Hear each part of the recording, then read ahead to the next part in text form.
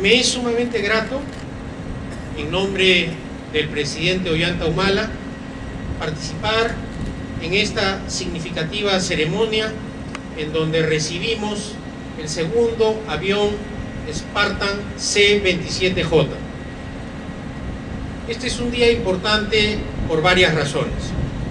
En primer lugar, porque tal como lo ha expresado el señor comandante general de la Fuerza Aérea, después de décadas se inicia un proceso de modernización en el país que implica la adquisición de aviones modernos que van a prestar servicios no solo para la operación logística o militar de la Fuerza Aérea, sino fundamentalmente a la población en general.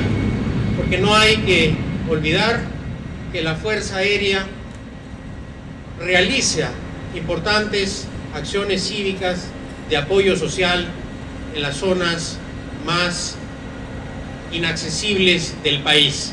Y precisamente este tipo de aeronaves cumple con esa función de poder operar de manera técnica y ágil en zonas que nuestra geografía muchas veces las hacen difíciles para la operación aérea.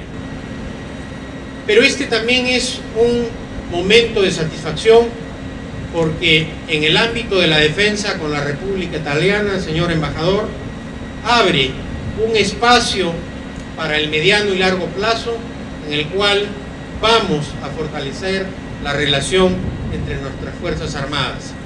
Confío este encuentro al mediano plazo también se concrete a través del establecimiento en el Perú de una planta de mantenimiento de esta clase de aviones, no solo para nuestro servicio, sino para América Latina.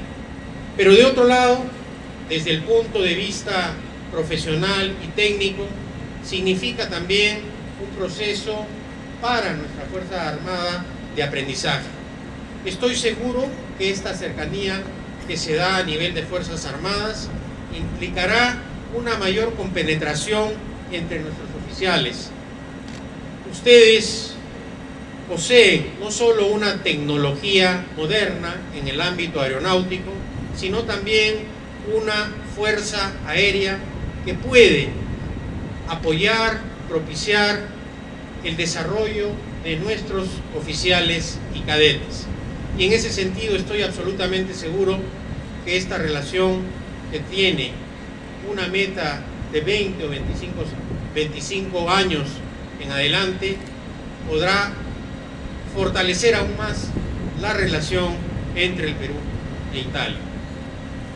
Finalmente, señalar que el gobierno ha hecho todos estos esfuerzos para beneficiar al país. Y estoy seguro que estas aeronaves que ya han sido incorporadas a la Fuerza Aérea serán empleadas con profesionalismo, entrega y que todos los pilotos que son herederos de la gloria de José Abelardo Quiñones cumplirán su misión en defensa de los intereses nacionales. Muchas gracias.